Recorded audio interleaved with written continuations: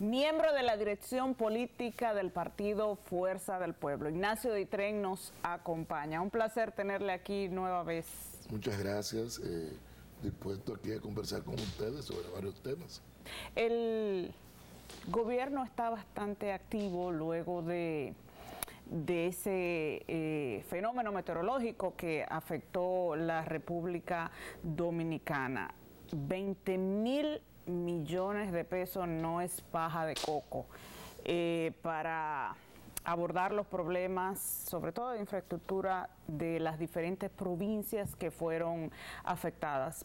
Pero fueron declaradas de emergencia provincias donde no pasó nada. ¿Y, y, y, dónde está la oposición que, no dice ni esta boca mía? Mira, lo que pasa es que en, ese caso eh, ellos han utilizado eso para poder, ellos tienen una falta de operatividad tremenda. Entonces, parece que encontraron esa, esa oportunidad, ese huequito para colocarse por ahí, para poder eh, ejecutar algunas cosas. Eh, fíjate que en dos años y pico tú no has visto inaugurar una sola obra de importancia.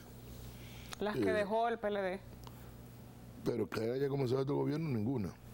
Incluso una vez al presidente Fernández lo entrevistaron en Santiago, un periodista que le dicen el cocodrilo, creo. Sí. Y él le hizo una pregunta sobre eh, la hiperactividad del presidente. y Leonel Fernández le preguntó, bueno, está muy bien eso, que trabaje mucho. Ahora, un ejecutivo de cualquier índole tiene que sentarse a planificar es como el CEO del país, ¿verdad? Así es. Entonces necesita tiempo. Mira, por ejemplo, ahora, que está, por ejemplo, este problema de Haití. Eso es, tú no has visto ningún reportaje de que el presidente se reunió con el ministro de las Fuerzas Armadas, con el de la Policía Nacional, con, con el de... Sí, lo hizo una vez después de, lo de Codevi. Pero una vez, y, y por el problema de Haití está latente todos los días. Eso es de emergencia. Sí.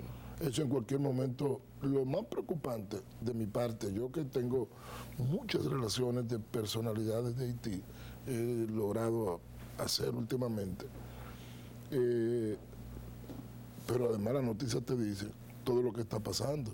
Por ejemplo, nosotros tenemos un grave problema, el presidente decidió hacer un muro, pero ese muro, él decía que en siete meses eh, iba a tener 40 kilómetros, creo que era. Ya van como tres meses. No, van siete meses, eso fue en febrero que lo anunció. Ya van siete. Van siete meses. Y hay videos ¿Por dónde ver robándose la varilla y la cosa. No, la dejan abandonada. ¿eh? Dijeron que dijeron, yo no sé si es verdad, que eso no era aquí, que eso ocurrió en una ferretería de aquel lado. Pero lo del muro tiene cuestiones que vamos a tener que discutir. Por ejemplo, o el muro está construido en la parte de Dajabón, el pedacito que hay hecho, de este lado del río Masacre. Lo que quiere decir que nosotros estamos dejando, estamos cediendo a Haití el río Masacre y parte del territorio nacional. Entonces, ¿y, quién autorizó eso? Bueno, ¿quién autorizó eso? Eso ni al Congreso ha ido, porque eso es, eso es patrimonio nacional. en, en un tramo, si tú dejas una cantidad de metros y el río, bueno, Ah, yo mismo, en la dirección política de Fuerza del Pueblo, propuse el año pasado una discusión cuando estaba vivo el presidente Juvenal Mois, eh, que estaban construyendo un canal, no sé si ustedes recuerdan, en Haití. para nutrirse del, río Masacre. Era prácticamente desviarlo. Y yo propuse una comisión en la dirección política y convocamos una cantidad de técnicos eh, para analizar eso. Eh, decían que ese canal estaba, eh, estaba ligado al primer presidente de Haití. Fíjate que después de eso ya eso se descontinuó y no se ha hecho más nada. Lo que quiere decir que está ese problema, pero está el problema de, del huracán de ahora, de Fiona, y las provincias afectadas es simplemente de repente, eh, vamos a dedicar tantos millones para esto y está provincia, esta provincia. Pero ¿dónde está el estudio? Incluso Santo Domingo se incluyó. Cuando por aquí no pasó No pasó nada. lluvia, lluvia. Bueno, aquí hay gente que son damnificados permanentes. No, claro, y se pudo haber, por ejemplo, incluido ese dinero para el la solución del drenaje, porque creo que alcanza, porque son miles de millones. 20 mil. Mira, hablando de drenaje, tal no sea el tema justamente estoy trabajando en unos artículos que quiero escribir sobre que se llamaría Deuda Sanitaria Dominicana, que habla de justamente nuestro déficit de drenaje pluvial y sanitario, eh, déficit de suministro de agua y eh, inexistencia de destino final de residuos sólidos. Pero eso lo hablaremos en otra ocasión. Bueno, pero volviendo a esto, eh, la falta de planificación está el inicio del año escolar. Nunca se. pero señor, a, a- mí se me salen dos lágrimas cuando yo veo niños sentados en el suelo en pleno siglo XXI, Es que ah, propuso que los niños lleven sus butacas, su silla. sus sillas. Con- eso es- él se está recordando cuando en el país. Él lo dijo cuando él era pequeño, Sí, a, la, 70 sa- años atrás. a la salida. Eso la quiere decir que hemos retrocedido. He retrocedido. En pocas Bueno, palabras. te voy a decir algo. Yo soy hijo de una maestra de escuela hogar, que era como se llamaban. Mi mamá era profesora de escuela hogar. Comenzó como maestra de escuela hogar. Luego fue a la, a la ¿cómo se llamaba? Una escuela de instrucción. Bueno, convirtió en maestra normal. Pero era maestra de escuela hogar. Y nosotros teníamos, eh, donde vivíamos, mm, eh, mi abuela vivía al frente, en la marquesina, donde guardábamos el carro, porque mi papá tenía en el tiempo carro. En la marquesina, entonces ahí los niños iban con su sillita al hombro de su casa y se sentaban ahí. Pero eso fue cuando la época de Trujillo. Ya eso cambió. Oye, hay que ver el atraso La mentalidad la retrógrada. mentalidad retrógrada de mucha gente.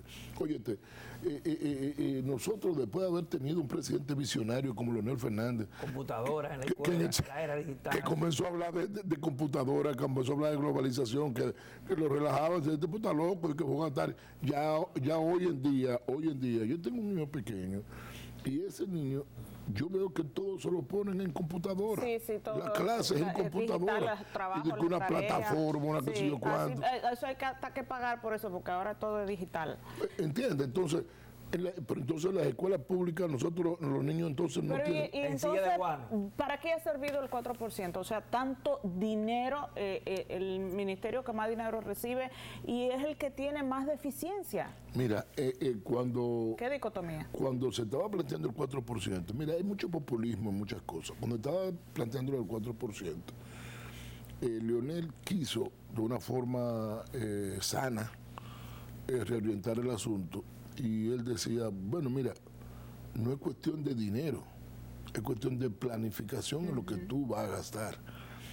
Eh, o sea, no se oponía. Yo no estuve de acuerdo con ese, con, con ese planteamiento de Leonel en ese momento y dije que él debió cumplir la ley y dar el 4%. Lo hizo Danilo, quien fue que cumplió el 4%, pero le están dando la razón. Y este ministro cuando llegó dijo que Lo- lo todo dijo. ese dinero se ha ido al zafacón. al zafacón. Entonces eso es lo que decía Sí, pero si Danilo no hubiese hecho toda esa escuela que hizo que en ya hay 10 un años. déficit otra vez. No, Aunque- pero, pero también... eh, eh, En mira, el gobierno de Danilo salieron de- dos precandidatos presidenciales también de la del, del Ministerio de del Educación. Ministerio de- Sí, pero, pero mira, el problema es, ok, yo le aplico, pero entonces ¿en qué lo gasto? En lo que sea. Una escuela, en una escuela donde, donde no hay, mira, por ejemplo, yo tengo, eh, yo soy productor agropecuario eh, de porcicultor, y yo me uso mucho la circunvalación, porque yo vivo eh, al final de la Avenida Independencia, en un residencial se llama Costa Verde, me voy por ahí por ese peaje y cojo la circunvalación. Cuando usted la circunvalación viniendo desde Jaina hacia la carretera Duarte, si miran a la derecha, va a ver en unos eh, eh, tierra baldía eh, como tres escuelas donde no hay ni, ni personas. Porque también, porque yo te digo, entonces lo gastó, pero está bien, pero no es gastarlo, eh, o sea, no es malgastarlo, es gastarlo eficientemente. E insisto, ciertamente el dinero para la educación es necesario para el desarrollo, además está la calidad de la educación. Nosotros tenemos, por ejemplo, mira, yo me eh, una vez se propuso traer unos profesores de Cuba y unos profesores de, de Venezuela eh, donde la educación tenía un nivel, pero no era para sustituir los profesores de aquí, es para adaptar el currículo y que algunos profesores pudieran, porque acuérdate que... la ADP se, se opuso. Se opuso. Eh, tú sabes que eh, si tú tienes falta y eres profesor, ¿qué es lo que tú haces con los niños? Reproducir esa falta. Exactamente. Si tú escribes, eh, ¿qué te digo? Caballo con B corta y tú no sabes qué con B larga, eso mismo van a enseñar a tus alumnos. Entonces, mira, aquí ha habido un progreso con los profesores, han estudiado, algunos tienen maestría, eh, eh, eh, pero aún con maestría, tú te pones a ver, a leer cosas que escriben y ves muchísimas faltas. Hasta hablan con falta ortográfica. Hasta hablan con falta ortográfica. Entonces, y los directores, que lo he escuchado. Entonces, entonces, ¿qué pasó con la ejecución del presupuesto, que fue donde comenzamos, de educación? ¿Y cuál fue lo otro que también a obras públicas? También le iban a recortar 4 mil millones. Nunca yo había visto eso al revés. A obras públicas siempre le falta. Las construcciones es lo que eh, activa la economía. Pero que además, pero además son necesidades. Por ejemplo, nosotros estuvimos acompañando al presidente Fernández hace como tres semanas en Puerto Plata, tres semanas en Puerto Plata. Y ahí alguien habló, hablaba de un, de, un puente eh, pequeño, puentecito pequeño, pero que por ahí transitan los autobuses que van al, aeropuerto de Puerto Plata. Y los autobuses no pueden cruzar el puente, los turistas tienen que desmontarse con su maleta para cruzar a pie.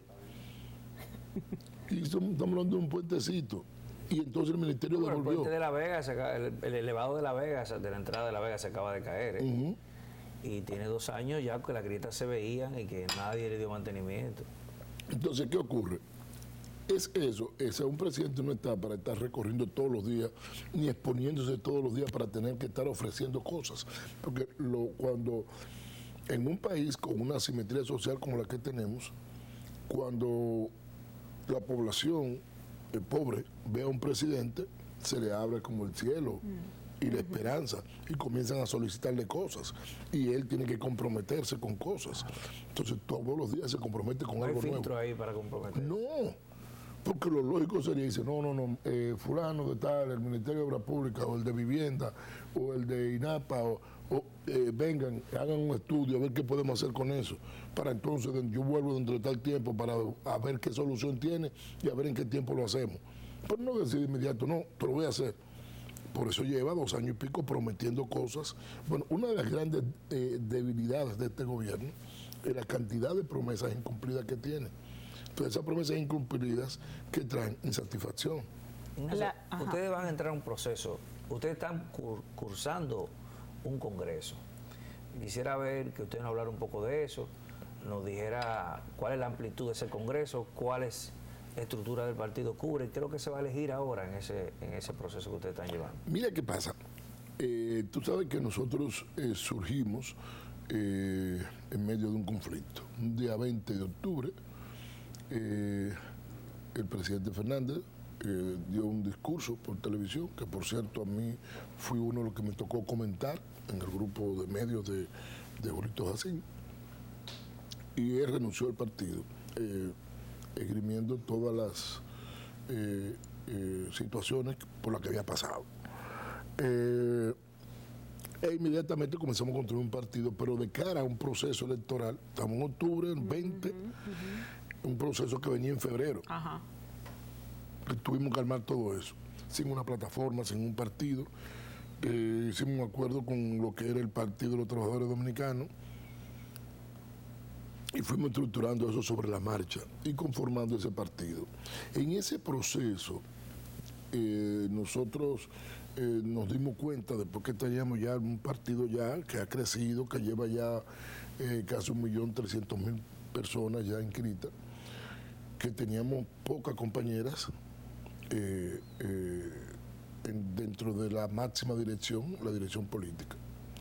Eh, y entonces decidimos abrir, aperturar, para atraer, o sea, obtener en el seno de la dirección política a una cantidad importante de compañeras por aquello de la equidad de género, la participación Actualmente de la mujer. está doña Ligia. y- Doña Ligia. Nada más. ay, Nada más, padre. sí.